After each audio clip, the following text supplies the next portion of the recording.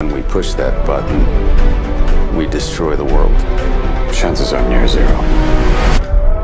Near zero. What do you want from theory of law? At zero.